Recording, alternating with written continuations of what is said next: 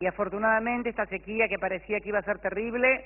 eh, Dios nos ayudó, vino mucha lluvia y prácticamente, dicho por las propias cámaras empresarias, el daño es mínimo, eh, afortunadamente, para todos los argentinos, para los productores, para sus familias y para la economía en general. Pero también creo, y esto es lo importante de esta etapa que se inicia,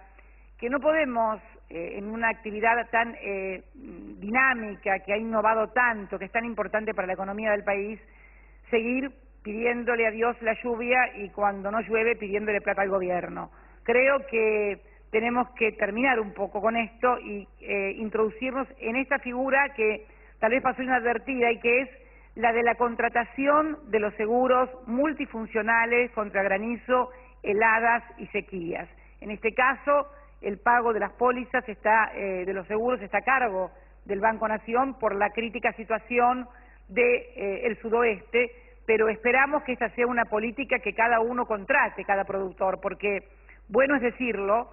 los otros sectores de la economía, un transportista tiene que contratar su seguro y lo paga él, un kiosquero o alguien que asegura su casa, su negocio, también tiene que pagarlo él, por lo tanto, los sectores que han tenido tanta rentabilidad y que la van a seguir teniendo porque han innovado, porque han incorporado tecnología, porque han invertido, es bueno que también destinen una partecita chiquita de esa rentabilidad a contratar seguros contra sequía, helada y granizo eh, para rezarle a Dios por otras cosas que tenemos que seguir rezándole, pero no para que venga la lluvia. Si viene, mejor. Y si no viene, para no pedirle plata al gobierno, sino tener la previsibilidad que tantas veces se le reclama al gobierno y que tal vez tan pocas veces ejercen desde los propios sectores.